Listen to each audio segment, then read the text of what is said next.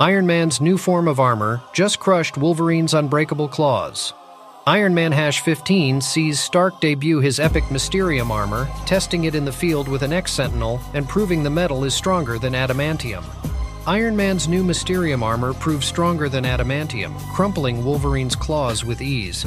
Stark's Mark 72 armor renders Orchis's X Sentinels useless, showcasing Mysterium's incredible power. Mysterium becomes Iron Man's ultimate weapon against Orchis, marking a significant shift in Marvel's metal hierarchy.